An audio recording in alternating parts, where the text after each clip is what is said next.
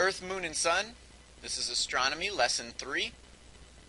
In this lesson, we'll look at gravity and motion. Gravity can assist us. So we might think of gravity as being something that brings objects down, but gravity can also speed things up. If a space probe comes close to a planet, the planet's gravity changes the probe's path.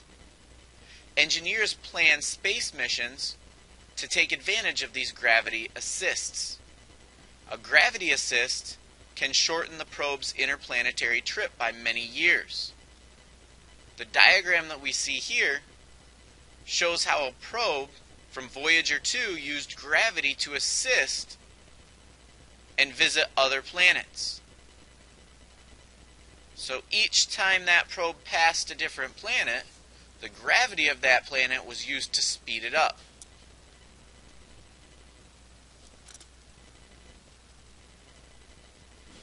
So what determines gravity? Earth revolves around the Sun in a nearly circular orbit. The Moon orbits Earth in the same way. But what keeps Earth and the Moon in orbit? Why don't they just fly off into space? The first person to answer these questions was the English scientist Isaac Newton. In the 1600s, Newton realized that there must be a force acting between Earth and the Moon, and it should keep the Moon in orbit. A force is a push or pull. That force that he discovered was gravity. So Newton hypothesized that the force that pulls an apple to the ground also pulls the moon toward Earth, keeping it in orbit. This force is called gravity. Gravity attracts all objects towards each other.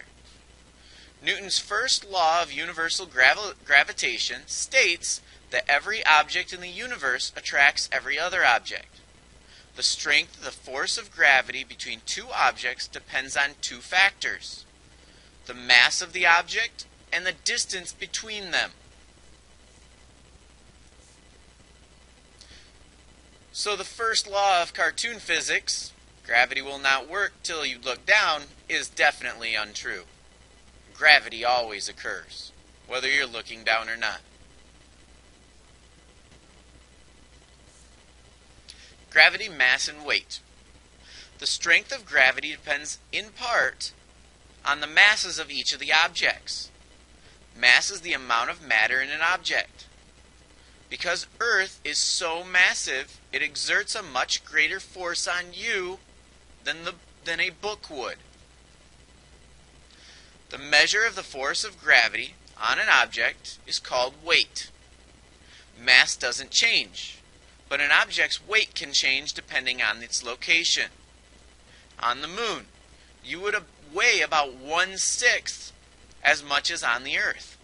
This is because the moon has less mass. So the pull of the moon's gravity on you would be less. Gravity and distance. Gravity is also affected by the distance between two objects. The force of gravity decreases rapidly as distance increases.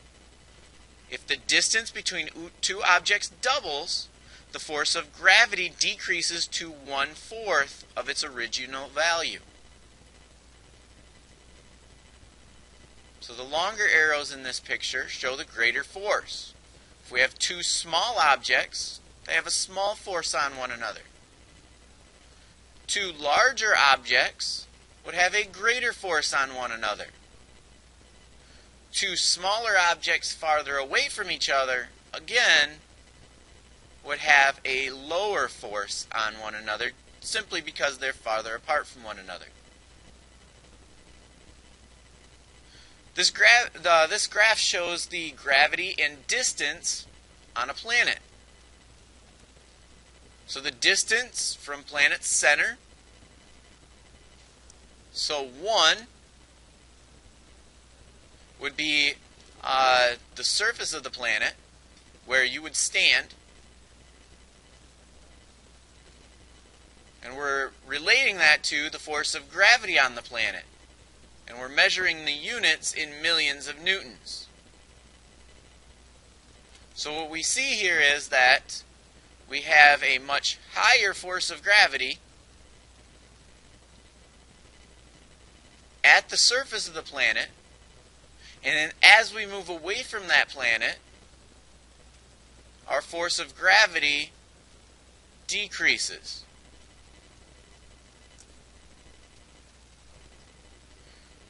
So what keeps objects in orbit?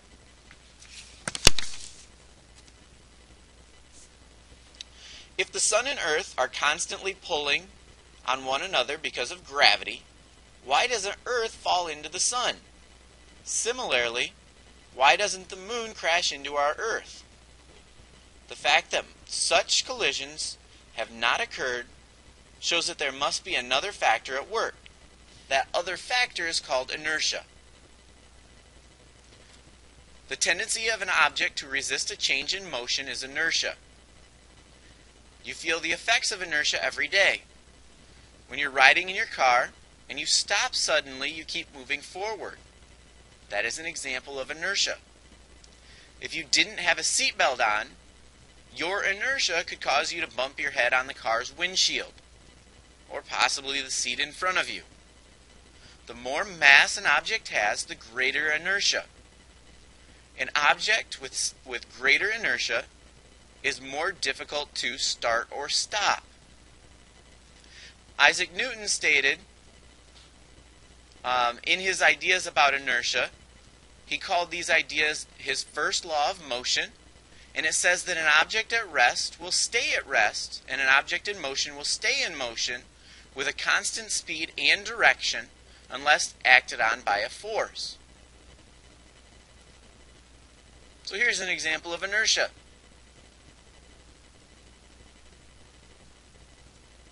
And another example of inertia. I'm guessing that didn't feel too good. That's why you don't just use the front brakes to your bike. And another example of inertia.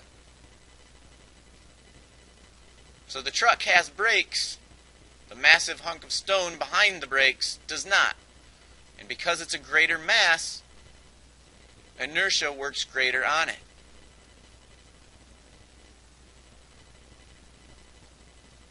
Orbital motion. So why do Earth and the Moon remain in orbit?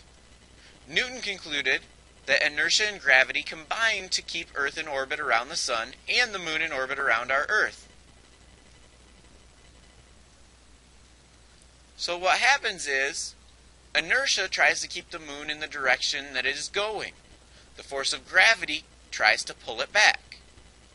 And these two uh, counteracting uh, forces are going to cause the moon to stay in orbit around the Earth. Inertia wants the, the object to continue to go in the direction it's going. Gravity wants to pull it back. The same reason occurs for us staying in orbit around the Sun.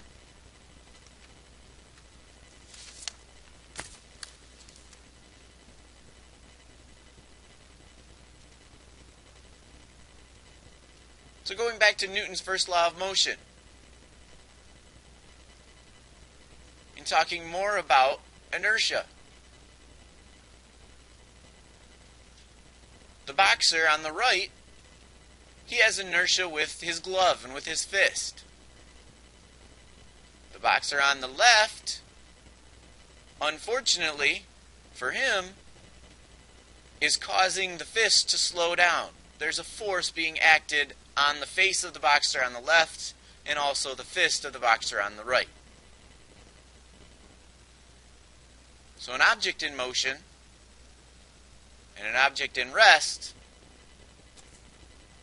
they both stay that way unless they're acted upon by an outside force.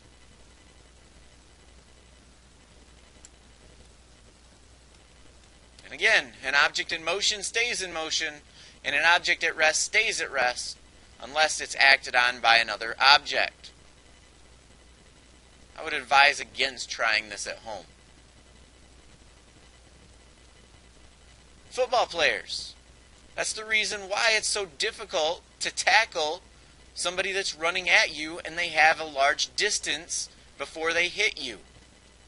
Inertia causes them to push right through you.